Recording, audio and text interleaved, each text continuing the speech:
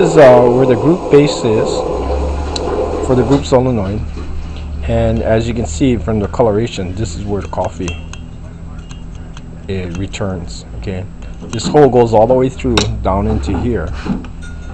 Okay, and there's another hole here that feeds water straight down, and it goes into the head and straight down over here into this hole. So everything meets up in this hole here.